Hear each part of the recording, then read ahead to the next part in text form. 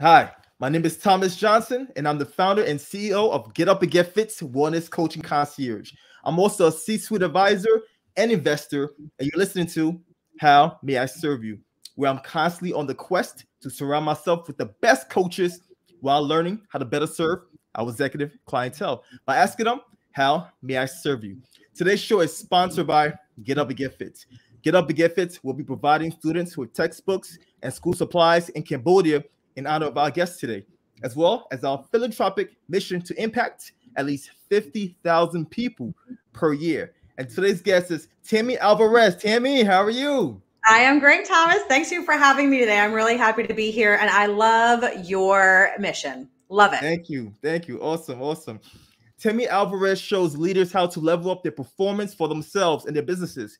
Her spirited, break all the rules approach blends decades of C suite experience on Wall Street with a pragmatic, results based coaching style that helps business professionals create a big impact and love every Monday morning again. There we go. There we, let's go, and Tammy. You should, right? If you don't wake up ready to go on Monday, then we need to do something different.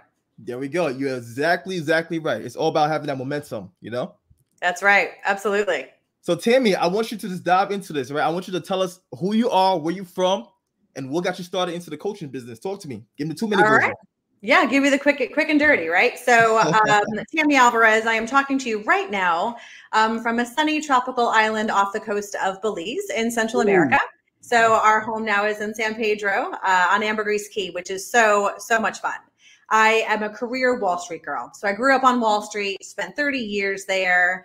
Um, last 15 as a C-suite executive in terms of being a managing director, all kinds of good stuff.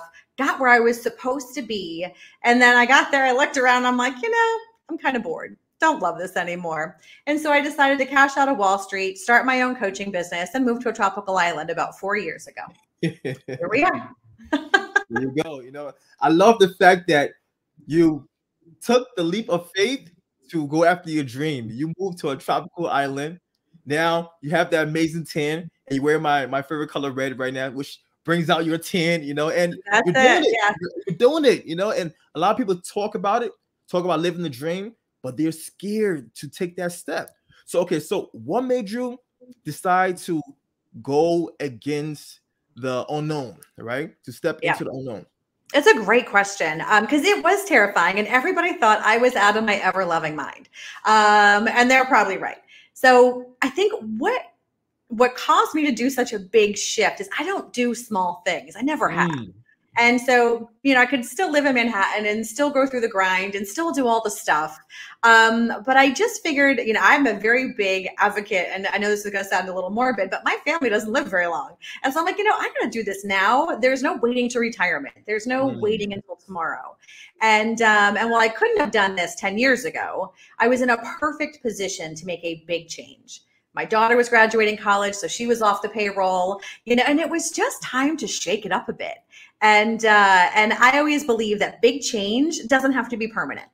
So mm. let's give it a shot. Have a good time while you're doing it. And if you have to hit the undo button, you can. And then just redefine how you want to go after your next big thing as life starts to unfold. So, so Tammy, let's talk about your upbringing because everyone don't have this type of uh, mentality, this mindset. What what provided you this this go against the green mindset. You know, I, I, I want to hear about the nurturing process. Talk to me about that. Uh, you know, the nurturing process was hard knocks. Um, grew up poor, never went to college. Um, I finally got my college degree when I was 40 years old, okay. and I was scrappy. And that's, I think, what it boiled down to. My mom and dad had separated when I was a teenager, and I saw what, how my mom struggled. And I was like, I am never going to be that person.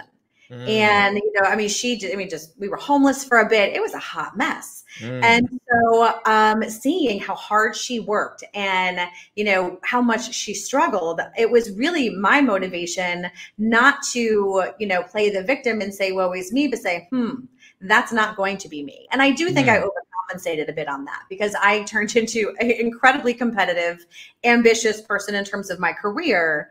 And because I had, I felt like I was playing where I had nothing to lose. I was already, you know, punching over my weight. I was doing things I never thought I was going to be able to do before. Um, I really just had a very, very high risk tolerance to being able to make big changes, mm-hmm. all because I was terrified of being in the same situation that my mom would have been in. Mm-hmm. And mm. so, um, you know, so that's really, high, and I had to learn how to do things differently because there was a, a hundred times if there was one where I am sitting at the leadership table surrounded by men, the only woman, the youngest woman, and uneducated. And if you want to talk about imposter syndrome and feeling like I don't belong here, every single day that was my best friend. Wow. And um, and so I just learned different ways to be successful. I learned different ways to attack a problem.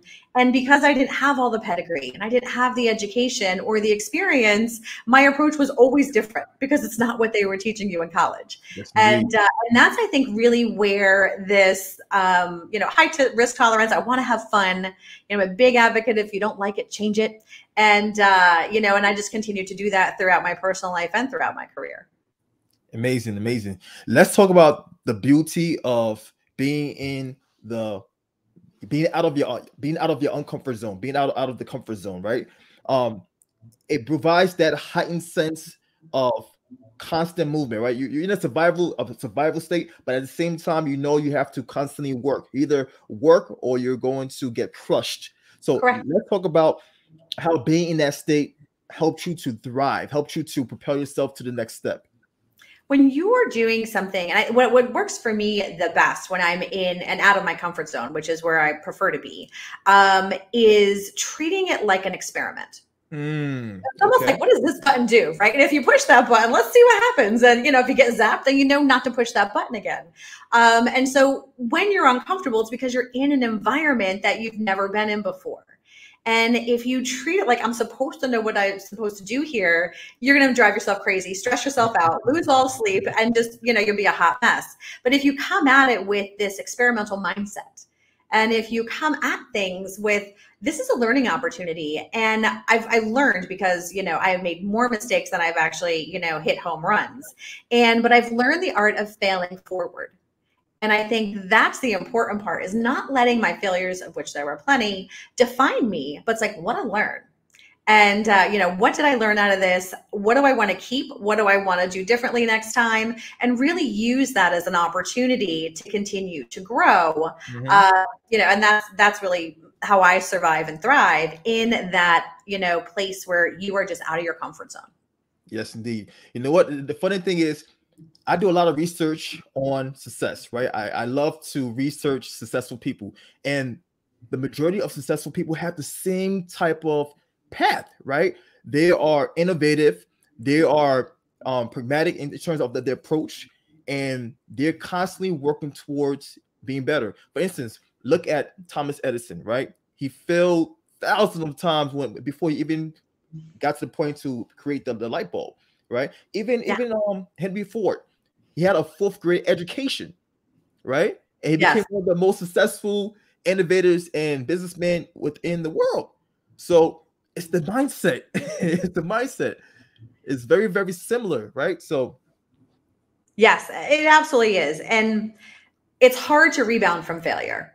It's hard to rebound from rejection. Mm-hmm. And I think when you start to realize it's not the person, it's the action you know people are not rejecting you as a person they're just rejecting your idea or exactly. your concept or whatever. And you know no never applied to me even as a kid right? I mean i was like okay that those rules apply to everybody else other than me. And so that's kind of how i live my life. And whenever i hear no which has been plenty of times mm-hmm. i didn't look at it as oh i'm done. I have to stop.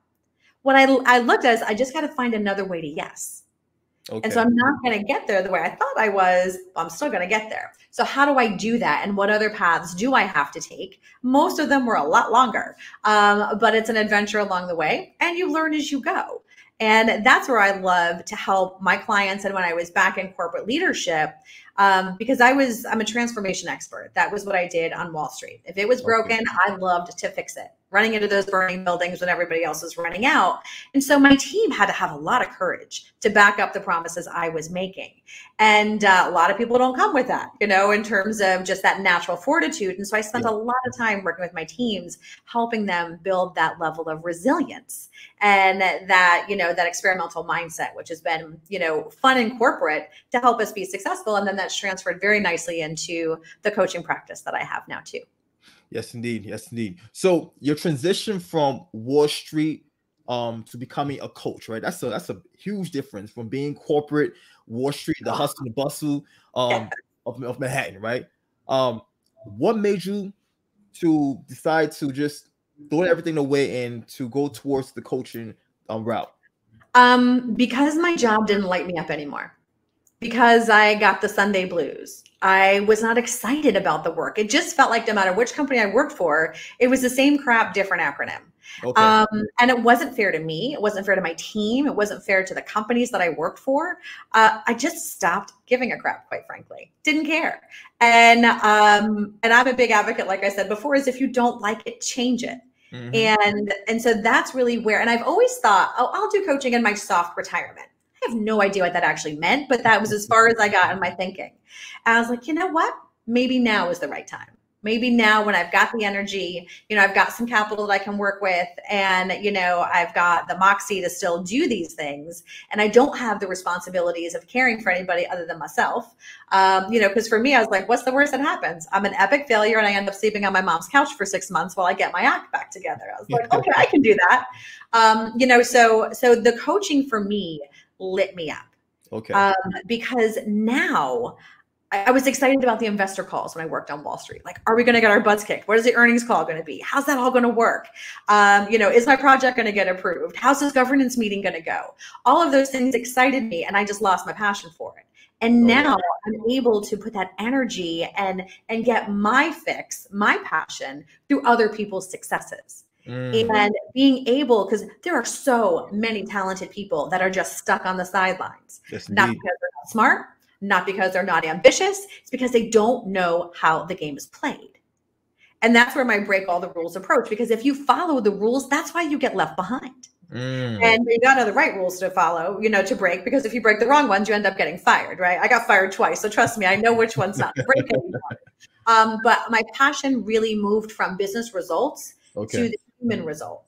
And um, you know, and I had found that passion as I was losing my mojo at work and losing my interest in the work. I really moved to my team in terms of my team development while I was in corporate. And I'm like, you know, I want to do this for a living. I want to have this feeling every day Mm-hmm. that people are are having breakthroughs they're feeling unstuck they're feeling empowered um, you know and they're just getting through the mess in terms of really wanting to have that next big thing for themselves and not knowing how to get it and so that's really what drew me to coaching and uh, and that's what's going to keep me here for sure. That's incredible, right there. So, Timmy, who's your target clientele? Who do you work with primarily? Primarily, I work with mid to senior level leaders okay. in the financial services and STEM industries.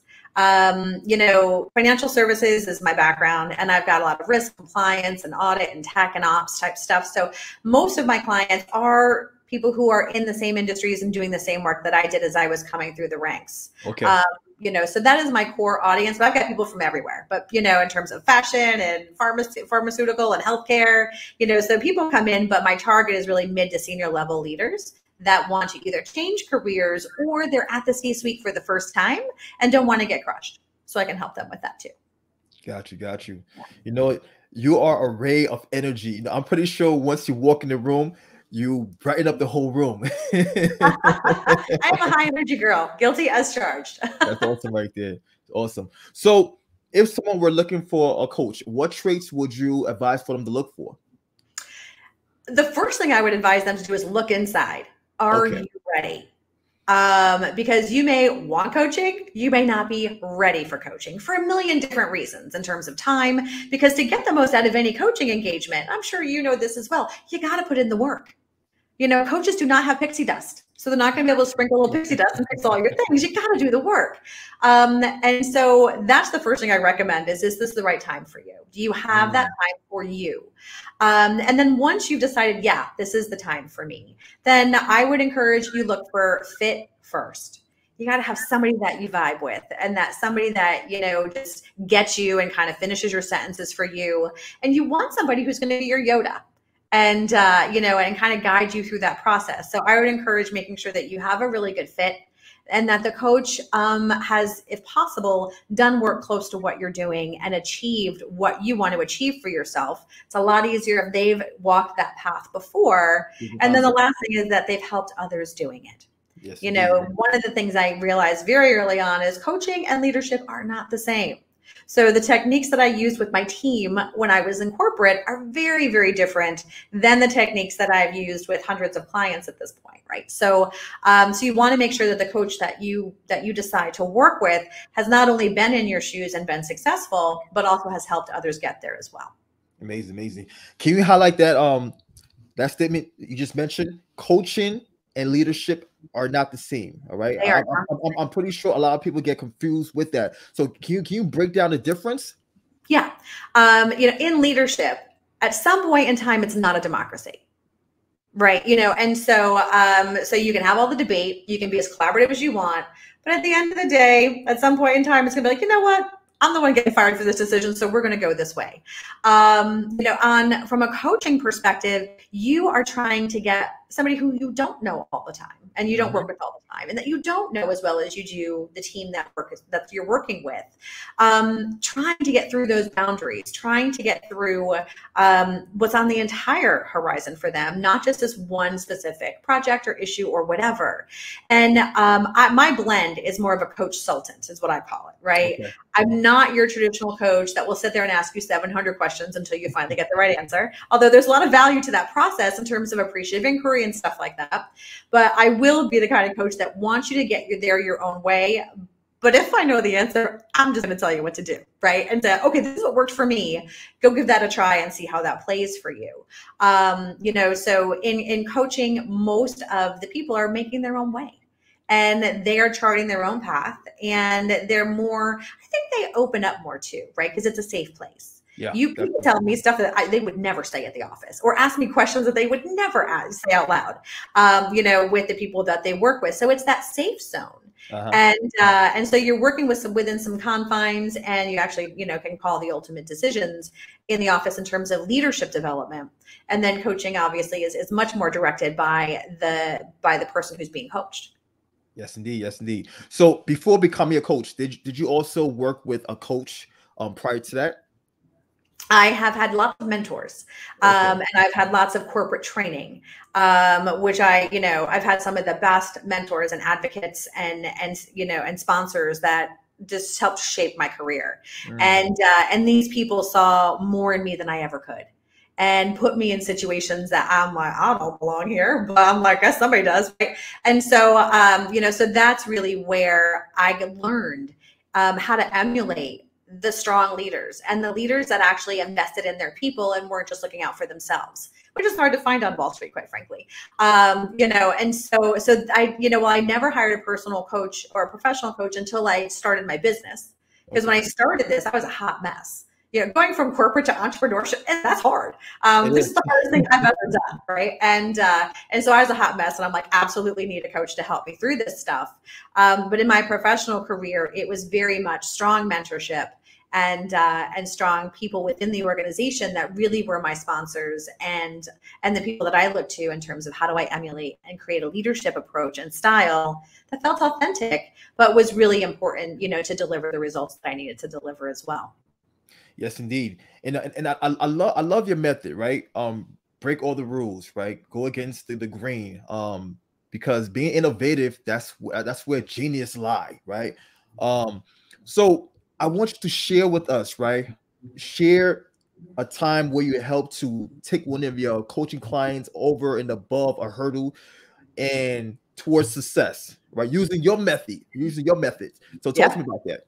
Oh, there's there's so many when I when I'm like, okay, which one do I pick? Right? How do I talk about this? Um, and, and so I picked one to talk about today that is pretty consistent, right, with the people that I work with. Okay. In terms of, you know, this was a leader who had spent over 20 years in the same organization and they kept getting promoted and they kept getting more responsibility and everything was great money was great job became easier as they moved up the ladder um, but they started to feel like they were on the outside looking in you know mm. reworks happen you know mergers and acquisitions happen leadership you know philosophies change. And you know and it's a young man's games or a woman's game. So whenever you do that like they started to realize that hmm i don't have that sphere of influence that i used to have. I'm not in the inner circle anymore like i used to be. And when they actually stopped and looked at it they were miserable. Like they hated what they were doing. But it was comfortable. You know they he, they knew what they had. You know it's like i know my people my people know me. It's easy but i hate what i'm doing and so we took this person who's in investment banking and financial services and really helped them pivot into something that they had never done before and what they're doing now is they're essentially a hired gun for a private equity firm and so this person's background was a chief operating officer, so really strong in operations. Okay. And they decided they're working for a small company. It's like a private equity firm of maybe a dozen people, and they invest in startup companies. But these startup companies don't have the money to hire a COO and they don't have the bank to bring in the best that the industry has to offer. But the PE firms want to protect their investment. And so they were really able to take all of their knowledge and not take a step back, which is what most people are afraid of, but to take a step forward because not only now are they lit up every day because they're helping baby companies become viable and they're not lit up every day because they're you know they're doing things that feed their passion and that is really in their zone of genius but they're making a boatload more money because they're getting a big salary that they're used to and equity in all the small companies that the pe company um, invests in. So that really helps them well. Okay. Um, you know, so there's a lot of options for people to be able to say, I need to transfer all the things I did to something that I want to do that serves me. And that's just one quick example. And that's amazing right there. Amazing. Thanks for sharing that story. You know, you're right. It's all about, you know, you have to switch things up a bit, right? You, you can't yeah. be afraid to step back, step sideways. It's not, it's not just a one, um, a one dimension kind of approach, right? Yeah, yeah it's, it's multifaceted. It is, you know? and everybody's journey is unique. And what I like to do is I've got a process I take my people through. So the process is consistent. So I know I can rely on it. But the journey is so unique and it's individual and, and that's where the fun comes you know people get stuck at different places and they surge at different times and all of that stuff is just um, just fun to see how everybody finally gets to where they go and you know i'm finding that people are defining success differently now yes and my biggest win this week love to share this is two of my clients, two of my clients turned down the perfect job offers because it did not serve them. It did Ooh. not give them what they wanted in terms of their their life balance, in terms of you know their ability to make an impact, and all of those things. So right company names, right paycheck, right, all right title, wrong culture, and mm. they turned it. Mm. So how fun is that to have people finally give? And one of my clients like, thank you for giving me permission to say no. Mm. I've never given myself permission to do that before. Wow, that's a powerful uh, statement right there. Right, it's huge, and so, but and I do believe strongly that when you say no, you open up the ability for the right thing to say yes to. Yes, and um, you know, and so that's uh, you know, so those are some of the big wins. It's just you know knowing what to say no to because it just doesn't serve you, and being clear on what does. You know, so what you just mentioned it actually um it's aligned with my personal value, right? So my personal value as, as a man, as Thomas Johnson, is God, then peace of mind, then family, and everything else, right? Yeah. Peace yes. of mind is so, so critical. Without yes. your peace of mind, how can you expect to be your full authentic self and and deliver your all? Right? You need your You're 100% right. You can't show up big if you're not at your best and uh, and you are the only engine driving all the things for you and so you got to treat it well and uh, and when you treat it well it'll show up big for you when you need it. It definitely will definitely will. So i want you to talk to us about being in this amazing island in belize right now right? How has it how has it how has it transformed you internally externally externally internally? Like talk to us about that real quick. We, we're all curious. Oh, yeah it's just I didn't know what to expect. Obviously, moving from Manhattan to a small tropical island, I did not know what to expect, and um, and it is it has impacted me more personally than I than I get I thought it would. In okay. terms of, I feel like we have stepped back into the '80s, people actually know the names of their neighbors and care about what's going on without being too nosy. Um, you know, people are not on their phones 24 7. They make eye contact. You say good morning. You you know you know it's just it's just the culture here is absolutely amazing. You know there's a big expat community and the Belizean culture is fantastic in terms of warm and approachable and just it is it is absolutely just a giant family. Um, and but the, the biggest thing i didn't expect is that being out of the daily stress of living in the states mm-hmm. has given me more energy and more vibrancy to show up bigger for my clients. Mm, um, when I go back, I feel stressed and I feel like all the fear mongering, all the news, all the negativity, all the fighting, all the things. And I'm like, there's a lot of stress going on here. And so, um, you know, most of my clients are from the US and, and that's where my company is still based out of because we have a place in Connecticut. Um, but just not being in that environment 24 seven allows me the space to breathe and to think mm-hmm. and just to be really fully present for my clients who are still navigating those you know that environment right? So. That's amazing right there. And plus we scuba dive a couple times a week just saying. Scuba dive a couple of times a week. That's amazing right there. Exactly. I was like oh you know? So yes we love to get any day in the fish tank's a good day. So uh, it's, it's got the second largest barrier reef system in the world. Yeah. and um, so scuba diving is a huge thing here and we are big divers. So uh, it's not uncommon to do a one tank dive before we start work in the morning and then uh, make sure we get some in over the weekend as well that's incredible. You know, next time um I decided to travel towards that region, I'm going to contact you. it is open, and uh, and I'm a, obviously a huge fan, and I'm going to uh, you know send BTB, which is uh, the tourism board, my uh, you know my bill for the promotion later. awesome, awesome. So um Tammy, like I love your energy. I love everything you stand for. You know, you are an amazing person. I'm glad we actually met. Um, Me too. So, are you currently working on any new projects that you could share with us um, today? Yeah. Yeah, there's some cool stuff going on right now. Um, I've just launched this year something called the Career Success Lab.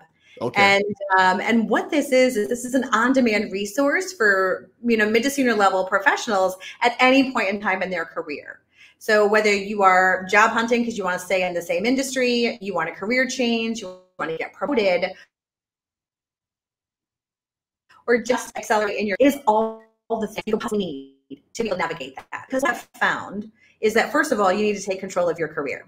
Because if you are not the CEO of your career, you can't count on anyone else to do that for you.